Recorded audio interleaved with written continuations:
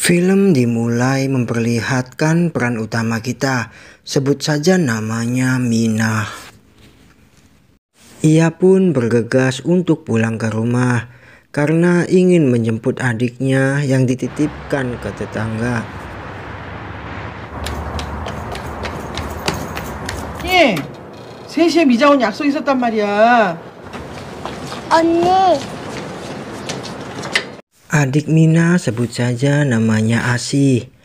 Mina pun dengan setia menunggu ibunya pulang kerja. 맞았어. 잘했어. 그렇지. 네. 엄마가 매번 얘기해야 돼. Maklum saja, Mina dan Asih sejak kecil ditinggal pergi ayahnya, entah kemana perginya. Ibu Mina dan Asih sebut saja namanya Susan, yang setiap hari kerja siang malam untuk membesarkan kedua anaknya. Pagi pun menjelang, seperti biasa Mina ke sekolah karena ia anak yang rajin dan pintar.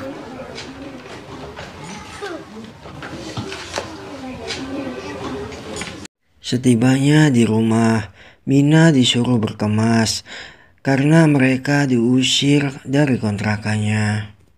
Mina sangat sedih karena meninggalkan sekolahnya. Susan pun berencana untuk menemui kakak iparnya.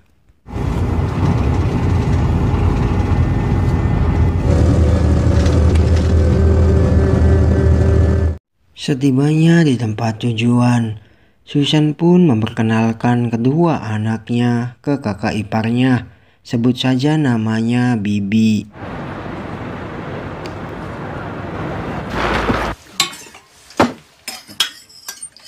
Terlihat muka murung Mina dan Asih yang harus menjalani kisah pahit ini bersama ibunya. 괜찮으실 엄마 뭐해? Karena Susan berencana untuk menitipkan kedua anaknya ke Bibi.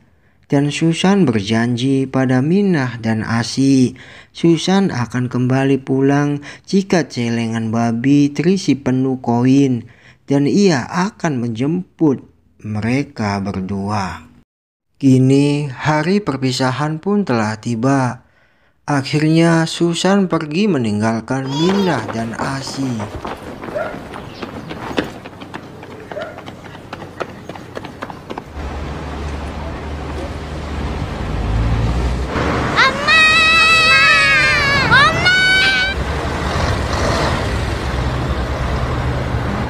Kini tak ada lagi pelukan hangat dari ibunya yang akan mereka rasakan dalam ujian hidup ini.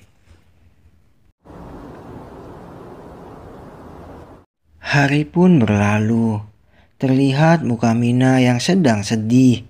Dia tidak nafsu makan karena rindu akan ibunya.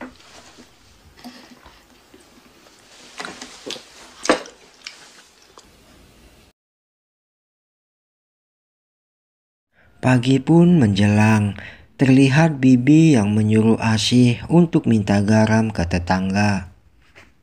Asih tak kunjung datang, membuat Mina sangat panik dan pergi untuk mencarinya. Terlihat Asih yang sedang bermain bersama teman barunya, sebut saja namanya Koko. Koko anak yang baik, begitu juga dengan ibunya Koko Sebut saja namanya Ibu Ana yang sangat ramah dan sayang terhadap Mina dan Asih.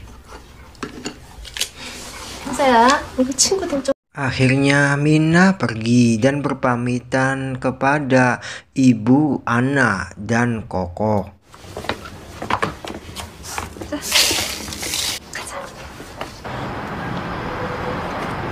Dan Mina pun masih setia menunggu ibunya pulang dan menjemput mereka berdua. Terlihat Asi yang sedang mengepel lantai karena capeknya mereka makanya begitu lahapnya.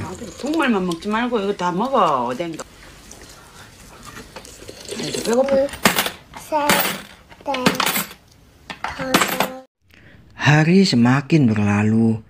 Terlihat Mina yang sedang dihukum oleh Bibi karena Mina menakali 어머 adiknya. 뭐라 하더노? 어? 동생하고 잘 놀아라 했지. Minah pun menangis.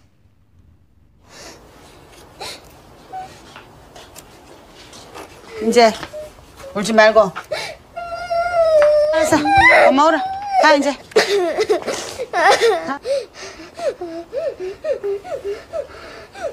언니!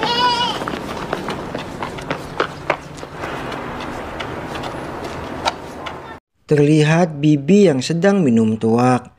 Bibi mengacuhkan Mina dan Asih, walaupun mereka mengeluh karena lapar. 좀 참아. 어, 집에 가서 살라고. 뭐 여기서 돈을 쓰노? 집에 가면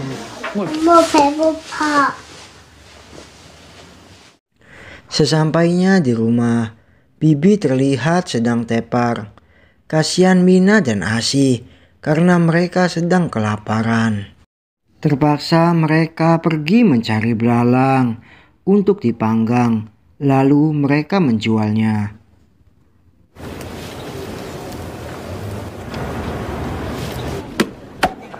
Eh, Uangnya untuk makan, sebagian uangnya ditabung di celengan babi pemberian ibunya. Karena mereka teringat janji ibunya, ketika celengan penuh dengan koin, maka ibunya akan pulang dan menjemput mereka berdua. Itu semua ada dalam benak pikiran Minah dan Asih. Maka dari itu, mereka berdua rajin mencari belalang untuk dijual dan uangnya ditabung di celengan babi. 한쪽을 눈 감고 봐봐. 구멍 여기 있잖아. Terlihat Mina dan Asih yang sedang pergi ke rumah temannya untuk mengajaknya main. Tapi sayang, kata ibunya dia sedang bersekolah. Terlihat Mina dan Asih meminta tolong orang lain untuk menghubungi nomor ibunya karena ibunya sudah lama tak pernah datang untuk menjemput mereka berdua. Hanya celengan babi yang menjadi saksi atas janji ibunya yang sudah lama belum tertepati karena ibunya belum juga menjemput mereka berdua.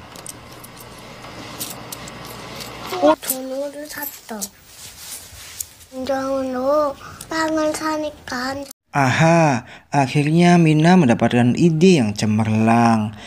Ia menukarkan uang yang besar dengan uang recehan yang kecil-kecil agar celengan babinya terisi penuh dengan uang recehan itu agar ibunya bisa pulang dan bisa menepati sesuai janjinya. Tapi sayang beribu sayang, Celengan babi sudah terisi penuh dengan recehan, tapi ibunya belum juga pulang. Itu yang ada dalam benak mereka berdua. Mereka berdua tak putus asa. Siang malam mereka masih setia untuk menunggu ibunya pulang di halte bus.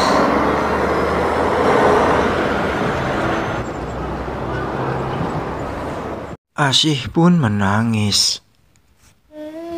Mama kudu sekolah. Ya. Bibi tidak tega. Akhirnya Bibi menceritakan ke Mina dan Asi. Bibi mendapat surat dari ibunya untuk menitipkan mereka berdua ke nenek dan kakeknya. Karena ibunya masih ada keperluan lain dan belum bisa menjemput mereka berdua. Sungguh malang nasib mereka berdua. Anak sekecil itu harus merasakan beban hidup yang begitu berat tanpa pelukan kedua orang tuanya. Yang hidupnya selalu berpindah-pindah dan sekarang ia tinggal sama nenek dan kakeknya. Dan Bibi pun berpamitan sama Mina dan Asih. 진 이리 와. 있는 동안 저 할머니 할아버지 말씀 잘 듣고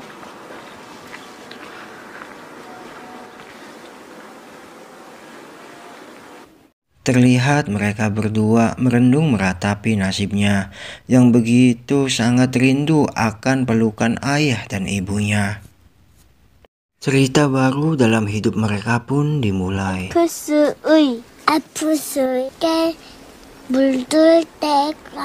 Kini Mina dan Asi belajar beradaptasi hidup bahagia tanpa ayah dan ibunya.